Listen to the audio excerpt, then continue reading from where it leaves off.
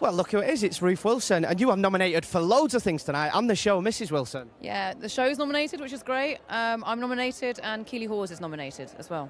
And I'm asking everybody here, have you got a speech prepared? I vaguely thought of something. I haven't got anything written down. Uh, so we'll see. I don't know. I, I sort of part, part hope I don't win, so I don't have to say anything.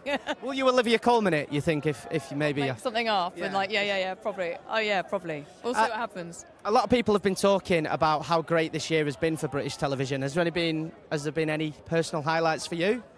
Yeah, look, I loved uh, English Scandal, Yep. Killing Eve. I mean, all of them. Um, uh, Patrick Melrose, there's great drama that's out there at the moment. Oh, I love The Bodyguard. I mean, it's addicted to The Bodyguard. So we're, we're producing really great stuff that's also travelling over to the US as well and making inroads there, which is great. So it's It's funny you say that. I was speaking to Bobby from, I don't know if, have you seen Queer Eye on Netflix? no, I haven't seen it. You've got to watch it, so I've good. But he was saying the same thing. He was like, he's watching all these Ameri- uh, British shows on Yeah, Netflix, and yeah. he, he was saying Killing Eve, Bodyguard, everything like Yeah. that. So uh, you look amazing tonight. Thank you. Is there anybody you've seen tonight and you thought she looks lovely?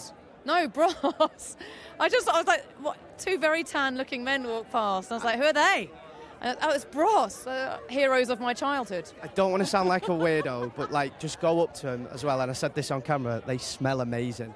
Do they? What else? I, I don't know, and this is why it's like perfume, I was just smell. I kept getting close and going, yeah, like that. It was it. sniff them and see was- what they smell like. You go and give Bros a go and give I a sniff. Um, thank you very much for speaking to us tonight, and good luck. Thank you. Thank you.